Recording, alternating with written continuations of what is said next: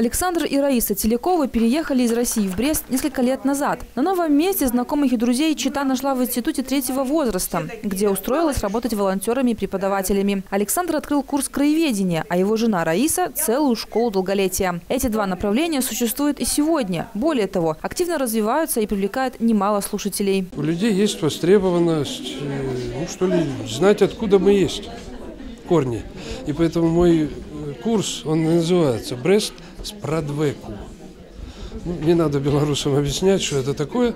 То есть это немножко, так сказать, глубже, чем просто краеведение.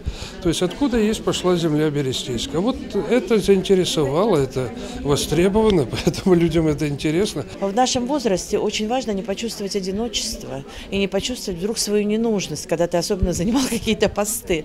И поэтому, притягивая сюда людей, я создаю им ауру, что мы нужны, что мы в этом третьем возрасте значимы, что у нас еще много того, что мы не успели для себя сделать. Кто-то порукодельничать, кто-то изучить компьютер, кто-то язык.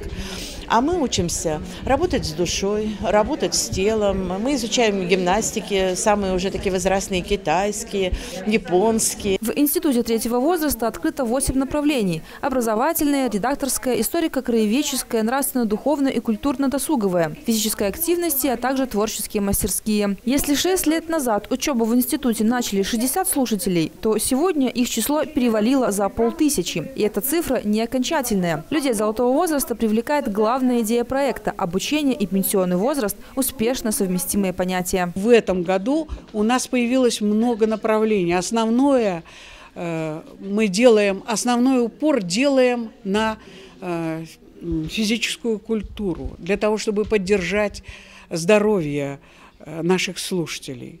У нас открылись новые группы «Фитбол», занятия с элементами йоги и занятия по суставной гимнастике по методике Бубновского. Они пользуются большой популярностью у наших слушателей. Кроме волонтеров, преподавателей физической культуры, в Институт третьего возраста требуются специалисты по английскому, польскому и немецкому языкам. В заключение Дня открытых дверей организаторы пригласили всех желающих на выпускную линейку, которая состоится 2 июня, где, среди прочего, пройдет дефиле выпускниц отделения кройки и шитья.